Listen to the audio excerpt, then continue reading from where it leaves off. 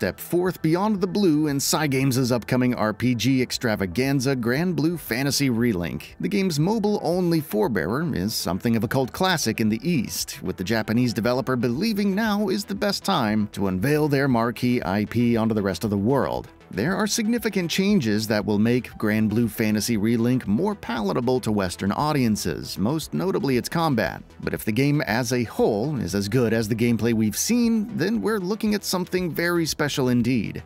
It's an action RPG, Granblue Fantasy Relink represents Japanese developer Cygames' most ambitious title to date. Central to that ambition is to shift Granblue Fantasy Relink beyond the turn-based approach to combat present on the original game, released for mobile and internet browsers back in 2014. Cygames say they recognize that mobile games aren't as popular in the West as they are in the East, so this might provide one explanation towards the more action-oriented approach to Relink. Another might just be of a studio finding confidence and spreading their wings after the warm reception to prior games.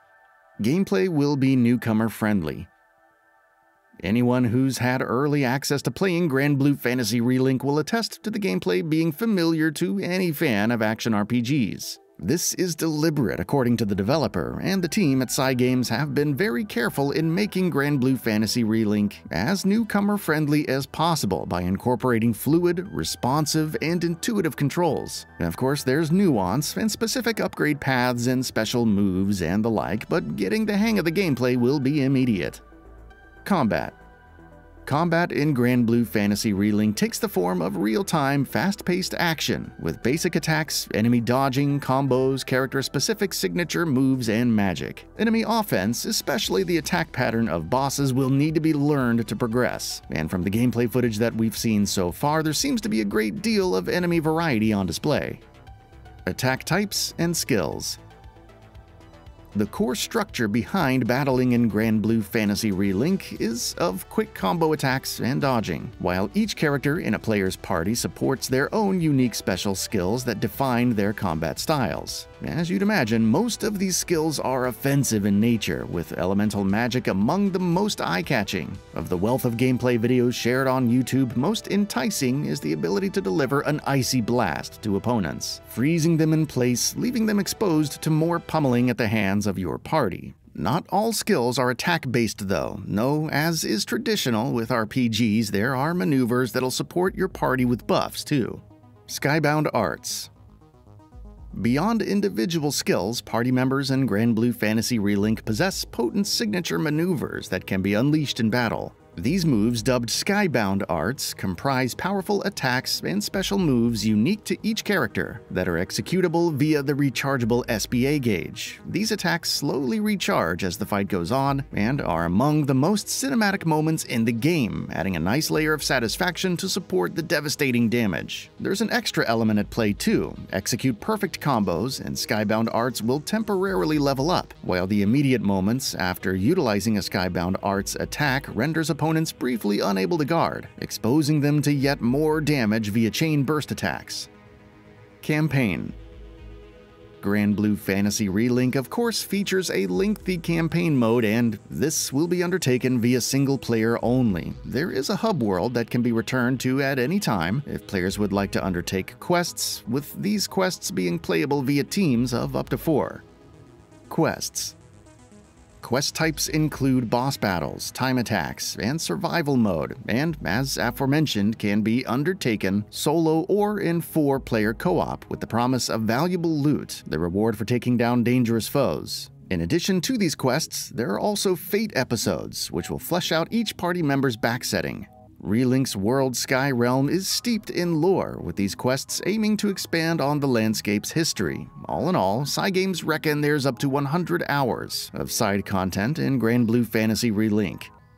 Boss Battles among the flashiest encounters in the entire game, boss battles can be played solo, in 4-player co-op, or with a squad of CPU allies. They represent the greatest opportunity to perform huge combos, deal significant damage, and score the best loot. A vast array of bosses feature too, ranging from dragons, goblins, and behemoths, with each boss equipped with their own unique combat style and attack patterns. Co-op mode As already mentioned, the game's plethora of quests can be undertaken in squads of up to four. In fact, there's over 100 quests dotted throughout each of Granblue Fantasy Relink's towns, with XP and treasure the rewards for completing them. Playing with others isn't just the most effective way to farm rewards. Granblue Fantasy Relink appears designed with co-op in mind. As an example, there's a great range of communication tools, such as stickers and emotes that can be shared among players competing together from anywhere in the world. Stun Gauge the stun gauge is a special mechanic that accumulates in enemies that are repeatedly being attacked. When the stun gauge has been filled, enemies will become susceptible to special moves and party-based combos. To get the most out of stun gauge, it appears the flow of battle will require players focus their efforts on one enemy at a time. Party-based combat mechanics in a move similar to the upcoming Final Fantasy VII Rebirth, Cygames are aiming for complete synergy between party members in Grand Blue Fantasy Relink. For example, the aforementioned stun gauge leaves opponents exposed to link attacks, with these being party-wide special moves that are executed by each member in tandem. Furthermore, reaping the benefits of stun gauge and link attacks requires parties to strategize effectively together, utilizing each of their unique abilities to overcome the most challenging encounters. Upgrade Tree Inside each character are unique upgrade trees with different skills, moving them beyond the more basic RPG method of leveling up by simply increasing base stats. As nodes are unlocked for each character, so too do they learn specific skills and special moves, with a huge variety of paths players can take to truly customize the build of their character. Upgradable weapons Granblue Fantasy Relink goes beyond progressing the attributes of each character via the game's upgrade tree. Characters can be further customized via upgradable weapons and sigils. The specific path players can upgrade through unlocks specific weapons too, presenting an arsenal only they can equip.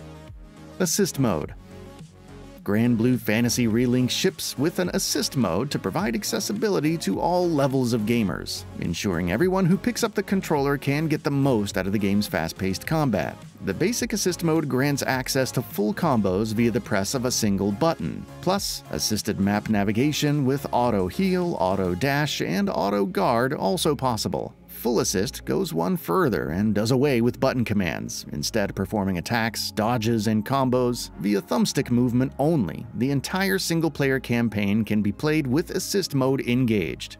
Release date and platforms. Granblue Fantasy Relink is set for global release on February 1st, 2024, with various physical and digital editions on offer for PS4, PS5, and PC via Steam and there's a free demo available for PlayStation right now. That's all for now. If you enjoy what you saw, please hit the like button. And if you're new to the channel, now is a great time to subscribe. We upload brand new videos every single day. After subscribing, don't forget to enable all notifications by clicking the bell icon. Thanks for watching this video, and we'll see you next time, right here on GamingBolt.